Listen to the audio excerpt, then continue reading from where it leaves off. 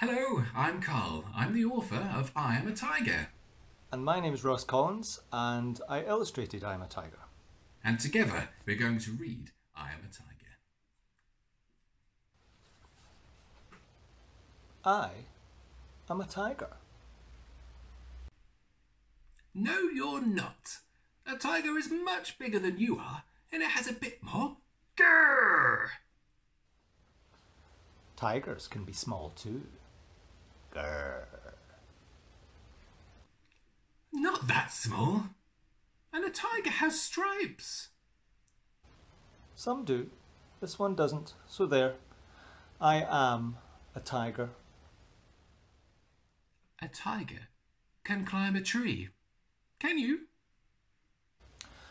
I could climb a tree. I could climb to the moon if I wanted to. Most tigers can. I am a tiger. Go on then. Climb to the moon. I can't just now. It's time for my lunch. A tiger hunts for its lunch. Grrr. I am a tiger. No, you're not. You're an. Uh, uh,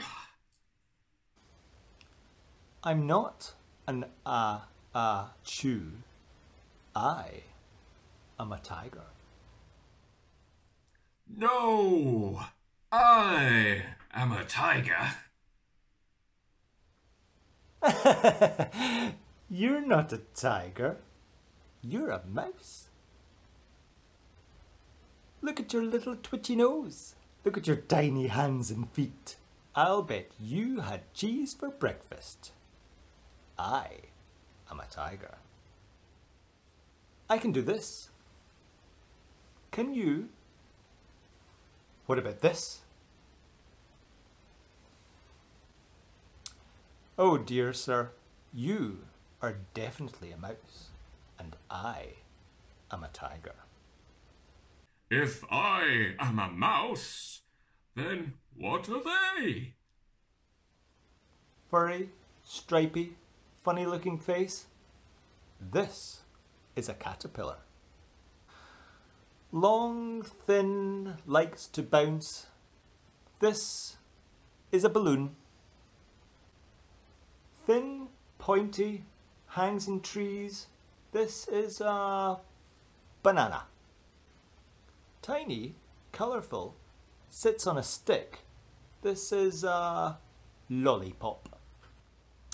Now, I really must be going. My lunch won't catch itself. What a silly old bunch. Gah! I'm not a tiger. How could I be so wrong? Look at those teeth. Those claws. That tail. It's obvious. I am a crocodile. And that was I Am a Tiger, read today with kind permission from Macmillan Children's Books. Thank you for watching. Bye bye.